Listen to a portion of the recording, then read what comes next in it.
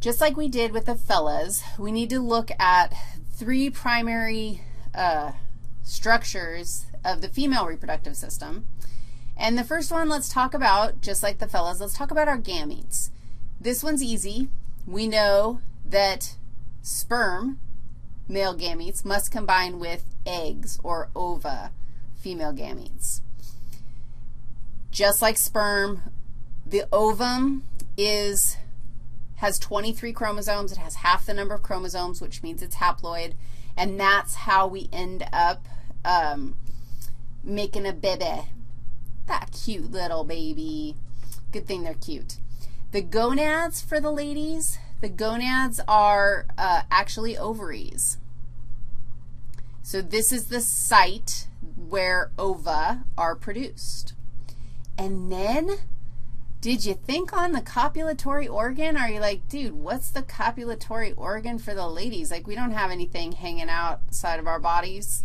And it's true. We don't have anything hanging outside our bodies because we have to have something that accepts the thing that hangs outside the fella's bodies, and that would be the vagina. Now, I'm going to spend a little bit of time debunking the use of the word vagina because the way it is used, we describe all external genitalia as the vagina, and that's not accurate. The vagina is a very uh, specific muscular tube that if I were to highlight it, remember this was the bladder from our urinary system conversation. The vagina is this muscular tube, and I hope that you can see I'm, I'm drawing in the walls of the vagina, and you can see that it actually has a lumen or a space in the middle. So I just drew in the walls of the vagina, and of course, you know, I can't help it. Like I've got to color in the walls. Maybe we'll make the walls um, this color.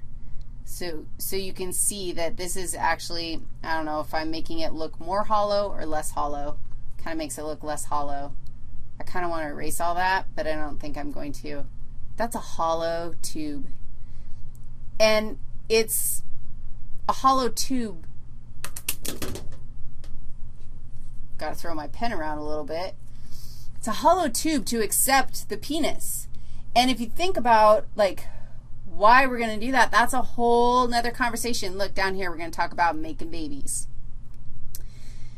So then what is the external stuff called? If, if what you see when somebody stands naked before you is not actually the vagina, I mean, really, literally, if you want to see someone's vagina, you have to look in in pap smear view. That's the view that you have to take in order to actually see the vagina.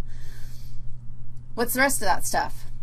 Well, you have what you mostly see if someone's standing in front of you is labia majora. And I'm going to come to a different, okay, but first of all, let me say this. External genitalia in females collectively is called the vulva. This is what you can see. And the vulva is primarily made up of labia majora. Labia majora, I'm going to show you where they are. Labia majora is the pubic hair covered lips that cover up over the vagina. So the vagina is a little hole, and the lips of the big labia majora are sitting right there. So let's look maybe this view. Yeah, this view is, is all right. You can see labia majora right here. You can see the muscular tube of the vagina right here, but it, this isn't a great view. So take a deep breath because I'm about to show you pap smear view. This might actually show us a little bit more, a little bit more, but this is like spreading apart labia majora. Labia majora is here so that we can actually look inside. Labia majora, like I said, if you just think labia majora is covered with pubic hair, those are the two lips that have hair on them. And so we've pulled those apart, and what you'll see inside of that, in this space between labia majora, you'll see labia minora, and those are little non-hairy lips. Excuse me, did I call them labia majora too? That's labia minora, little lips. And at the top of labia minora, you have a very important structure called the clitoris. The clitoris, what is it for? Dude, I think the clitoris is all about making sure that sexual intercourse is pleasurable for female humans, which in some cases, critters don't really care if it's pleasurable because some critters can overpower other critters. But in the case of humans, like it tends to be important to make sure that both parties are consenting and enjoying the experience, which is beneficial for baby making because otherwise if it wasn't enjoyable, you wouldn't do it and then you wouldn't have any babies and our species would not continue. So, clitoris. Let me tell you a little bit about this clitoris that we speak of. The clitoris has a glans. Now, I'm telling you that it has a glans, and you're probably like, dude, who cares? And take a look over here. I've spelled glans. I haven't. This image is labeled. And glans, the glans of the clitoris is um, labeled here. I forgot to label the glans of the penis because a penis has a glans. So guess what the glans of the penis is? I don't know what color I'm in right here. It's the head of the penis. It's the part of the penis. Oh, we'll just color that thing in. This is the glans. The head of the penis, the little part that kind of bulges out like that, that's the glans. It's all erectile tissue, very sensitive. Ah, and the clitoris also, oops, has a glans, except that wasn't where I was. I found that picture here. Nope. Here? Nope. Here. No. Yeah, that's where I was.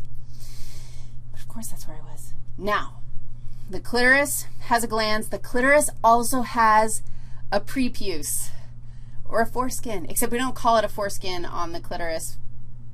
Or maybe we do, I don't know. But the prepuce and the glans, and it's erectile, and it functions in pleasure. Interesting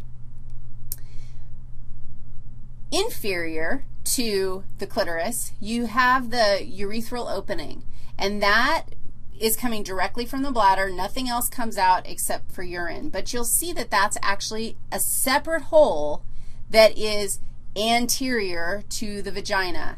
This is the opening to the vagina. You don't have vagina unless you go in. Like the tube itself is the vagina. Okay, what else do you have to know? Nothing. Nothing. That's it. There will definitely be more because we're going to talk about more gross anatomy when we talk about how we need to combine things in order to make babies. But first, let's figure out how we're going to make our gametes so that we can make babies.